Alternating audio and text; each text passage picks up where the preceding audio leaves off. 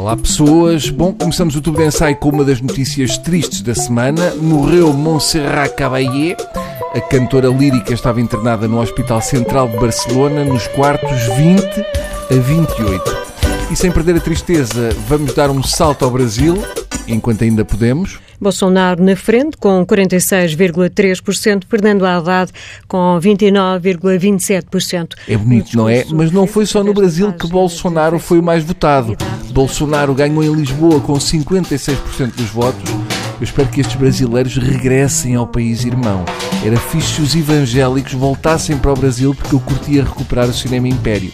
E até houve apoiantes de Bolsonaro a intimidar eleitores à boca das urnas em Portugal, frente ao Palácio da Justiça. Lá vê uma coisa: se vivem mal com democracia, saiam. Voltando ao Brasil, Bolsonaro ganhou a primeira volta das eleições para presidente do Brasil com 46%. Em São Paulo e Rio de Janeiro, Bolsonaro tem mais de 50%. Bem-vindos a um Brasil fascista e nem dá para fugir para a Venezuela, que também tem um ditador comuna, nem para os Estados Unidos ou a Europa, porque não querem imigrantes. E nem dá para as pessoas fugirem para a selva, porque a Amazónia está cheia de madeireiros e eles votam Bolsonaro. Para muitos isto tem uma explicação. O Brasil atravessa uma crise económica brutal. O PT e a maioria dos políticos estão envolvidos em casos de corrupção e o crime, assaltos e tiroteios chegaram a um ponto em que até o Cristo Redentor está de mãos no ar. As pessoas viraram-se para este chalupa que, segundo eles, tem todos os piores defeitos do mundo, mas não é corrupto. Espécie de votantes para as autárquicas de Oeiras, mas ao contrário. É como se ele fosse o inverso do Isaltino. Ah, ele é capaz de tudo, mas não gama. Mas se o carnaval são dois dias, a democracia com Bolsonaro não vai durar um. Os brasileiros vão eleger um fascista, xenófobo, homofóbico, racista, entre outras coisas. Bolsonaro que já disse que apoia a tortura. Isto é incrível, ainda para mais se da tortura fizer parte daquilo a que o seu futuro Ministro da Cultura, Alexandre Frota, chamou de anal técnico.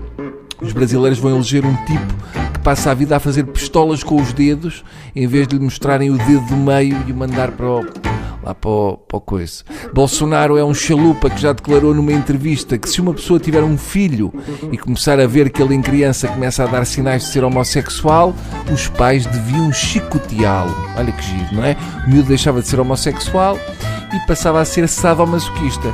Disse que se tivesse um filho homossexual preferia que ele morresse também preferia morrer a ter um pai como o Bolsonaro. É loucura total. Os brasileiros vão eleger o único indivíduo casava com Helena Matos ou que era capaz de ir acampar com o César das Neves ou de ir pôr flores na campa do Salazar, como fazem jovens que caíram do berço como ao bugalho.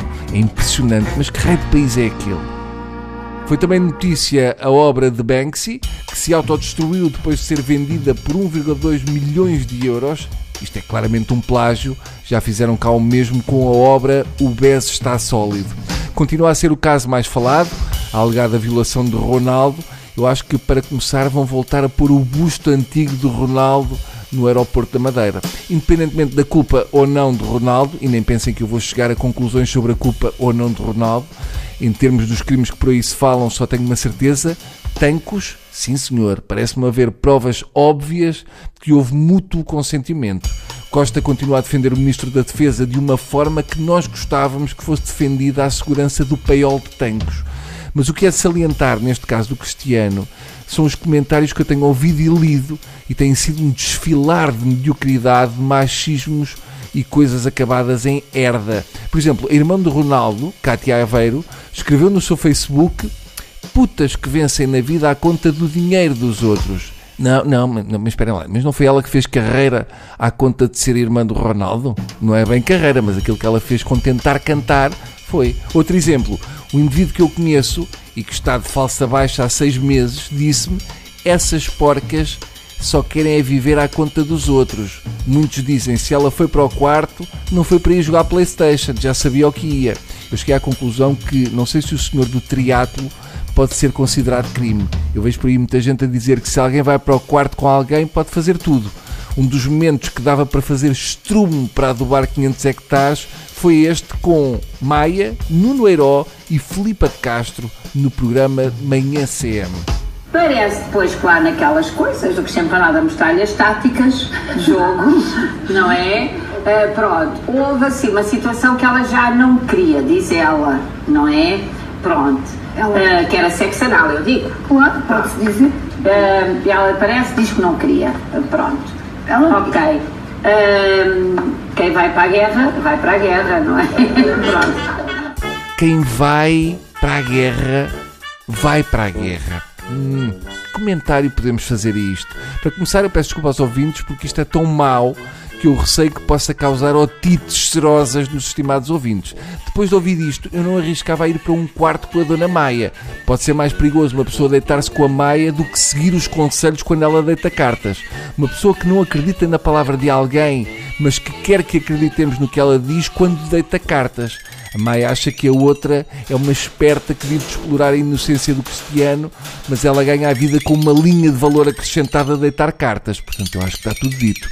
Mas para a Dona Maia, quando vamos para o quarto com alguém, é o equivalente a ir para a guerra, eu tenho que confessar que, em termos de sexo, eu olho para a Maia e fico de imediato um objetor de consciência. Não sou supersticioso, mas devo ter muito azar, porque eu sempre que apanho a Maia na TV, ela está a dizer cocó. Da última vez tinha apanhado a dizer eu não me sento com 13. Porque ela diz 13.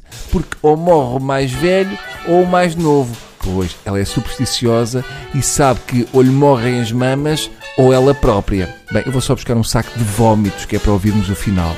No dia a seguir apresentou queixa. Pronto, tinha ah. sido violada. Isto há nove anos atrás, não estás a perceber? Pela retaguarda. Pela retaguarda. Hum. Ok, pela retaguarda, diz Nuneiro. O que é que. Eu não sei, porque Nuno tem uma cabeça que corresponde a um T10, mas às vezes parece que é habitada por um pequeno anão. Eu imagino dentro daquela cabeça o anão a gritar: Nuno, calma! E ele só ouve o eco, que é alma, alma. É assim que está a TV em Portugal. Que pena em Portugal não termos uma ERC. Dava tanto jeito de ter alguém que pusesse mão nisto. Mais uma notícia que atesta ao grau de loucura a que chegamos. A Escola Básica Francisco Torrinha, no Porto, entregou a uma turma de alunos do quinto ano uma ficha sociodemográfica em que pergunta se se sentem atraídos por homens, mulheres ou por ambos, questionando ainda se namoram ou se já namoraram anteriormente. Pronto, enlouqueceram de vez. Então, mas agora alguém tem de responder por quem se sente atraído. A escola tem lá de saber as inclinações, seja de quem for, quanto mais de um menor. Eu já nem falo de ser aos nove em que nem tens a sexualidade definida. Podes estar atraído pelo Ronaldo por jogar bem à bola ou pelo teu gato. Nesta idade, os meus filhos iriam escrever sinto-me atraído por cães e entravam na categoria bestialismo. Coitados dos miúdos ficam sem saber o que responder àquela pergunta de atração sobre sexos e devem pensar que vão ter negativa. Está tudo maluco. Nem pode ser permitido já namoras, quanto mais o resto. É tudo um absurdo. Um no... Isto faz parte da privacidade dos miúdos, dos adultos e de seja de quem for. É da esfera privada. Com a educação que eu dei aos meus filhos, eu espero que a resposta a já namoraste fosse sim, com a tua mãe. Entretanto, como se a televisão já não estivesse nas ruas da amargura, Manuela Moraguedes estreou na SIC o seu espaço documentário intitulado a Procuradora. Eu vi a primeira intervenção e achei muito giro a Manuela ter levado um fio com uma pistola ao pescoço enquanto falava da violência no Brasil e do Bolsonaro. Achei estranho, mas também podia ser joalharia tradicional de tancos. Mas vamos ouvir um bocadinho. Antes as mulheres faziam, eh, faziam reuniões de Tupperware, hoje em dia fazem, uh, juntam-se, uh, têm, acham que basta ter um cartaz, pôr umas t-shirts com, com umas palavras e acham superiormente, com uma superioridade moral para, para serem ativistas. Grande Manuela, antes as mulheres faziam umas reuniões de Tupperware, diz uma senhora que é 70% feita de plástico. Continuando o rol de desgraças, André Ventura anunciou que vai sair do PSD para fazer novo partido chamado Chega. O PSD está numa fase de autodesratização os meus parabéns. O novo partido que o André Ventura quer criar defende o fim do casamento homossexual e a castração química para pedófilos. Está aqui um belo programa para um partido. Eu só sinto falta de incineração de ciganos e mandar caiar negros. Será que também vai proibir e-mails? Hum? Um indivíduo que quer acabar com o casamento homossexual provavelmente é porque está com ciúmes de uma paixão que teve e que se casou.